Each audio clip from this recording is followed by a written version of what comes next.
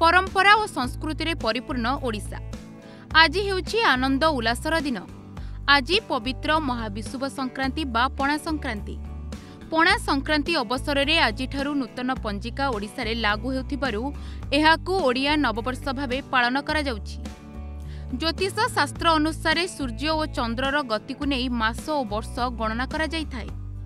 ବାରଟି ରାଶିକୁ ନେଇ ବାରଟି ସଂକ୍ରାନ୍ତି ହୁଏ। ସେଥିମଧ୍ୟରୁ ବିଷୁବ ସଂକ୍ରାନ୍ତି ହେଉଛି ଶ୍ରେଷ୍ଠ। ବସନ୍ତର ଶେଷ ଏବଂ ଗ୍ରୀଷ୍ମର ଆରମ୍ଭ ଦିନଠାରୁ ସୂର୍ଯ୍ୟଙ୍କର ବିଷୁବରେଖା ଆଡ଼କୁ ଉତ୍ତରାୟଣ ଗତି ଆରମ୍ଭ ହୁଏ। ସୂର୍ଯ୍ୟଙ୍କର ରୌଦ୍ରତାପର ପ୍ରଚଣ୍ଡ ପ୍ରଭାବକୁ ପ୍ରଶମିତ କରିବା ପାଇଁ ଏହି ଦିନ ବୃନ୍ଦାବତୀ ଉପରେ ଛାମୁଡ଼ିଆ କରାହୁଏ। ଏକ ଛୋଟ କଳସୀରେ ପାଣି ରଖି ଚଉରା ଉପରେ ବାନ୍ଧି ଦିଆଯାଏ। କଳସୀର ପାଣି ଛୋଟ କଣାରୁ ଧୀରେ ଧୀରେ ଝରି ତୁଳସୀ ଗଛ ଉପରେ ପଡ଼ିଥାଏ। ତୁଳସୀ ନିଜେ ତ୍ରିତାପ ନାଶକାରୀ। ତେଣୁ ତୁଳସୀ ମୂଳରେ ପାଣି ଦେବା ହିନ୍ଦୁ ପରମ୍ପରା ଅନୁଯାୟୀ ଅତ୍ୟନ୍ତ ପୁଣ୍ୟକର୍ମ। ଏହି ମାଠିଆକୁ ବସୁନ୍ଧରା ଠେକି କୁହାଯାଏ। ଆଜିର ଦିନକୁ ହନୁମାନ ଜୟନ୍ତୀ ଭାବରେ ମଧ୍ୟ ପାଳନ କରାଯାଇଥାଏ। ହନୁମାନଙ୍କ ଉପାସନା ସହ ଭକ୍ତମାନେ ହନୁମାନ ଚାଳିଶା ପାଠ କରନ୍ତି।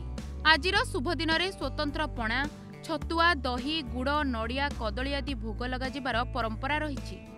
ପୁରୀରେ ମଧ୍ୟ ମହାବିଷୁବ ସଂକ୍ରାନ୍ତି ଓ ହନୁମାନ ଜୟନ୍ତୀର ବିଶେଷ ମହତ୍ତ୍ୱ ରହିଛି। ପୁରୀରେ ଥିବା ପାରମ୍ପରିକ ଜାଗା ଆଖଡ଼ାରେ ହନୁମାନ ଇଷ୍ଟଦେବ ରୂପେ ପୂଜା ପାଉଥିବାରୁ ହନୁମାନ ଜୟନ୍ତୀକୁ ବେଶ ଉତ୍ସାହର ସହ ପାଳନ କରାଯାଏ। ଜାଗା ଆଖଡ଼ାଗୁଡ଼ିକରେ କ୍ଷୀର ଖୁଆ ରାବିଡ଼ି ଓ ପଣା ସହ ଛତୁଆକୁ ଭୋଗ କରାଯାଇ ସମସ୍ତଙ୍କୁ ବଣ୍ଟନ କରାଯାଇଥାଏ। ବିଭିନ୍ନ ଦୃଷ୍ଟିକୋଣରୁ ବିଚାର କଲେ ମହାବିଷୁବ ସଂକ୍ରାନ୍ତି ଆମର ଗୋଟିଏ ମହାନ ପର୍ବ। ଏହି ଦିନ ବିଭିନ୍ନ ଦେବୀ ମନ୍ଦିରଗୁଡ଼ିକରେ ଝାମୁ ଯାତ୍ରା ମଧ୍ୟ ପାଳନ କରାଯାଏ। ଉତ୍ତର ଓଡ଼ିଶାରେ ଏହି ଦିନ ଚଡ଼କ ପର୍ବ ଅନୁଷ୍ଠିତ ହେଉଥିବା ବେଳେ ଦକ୍ଷିଣ ଓଡ଼ିଶାରେ ଦଣ୍ଡନାଚ ଉତ୍ସବ ଅନୁଷ୍ଠିତ ହୋଇଥାଏ।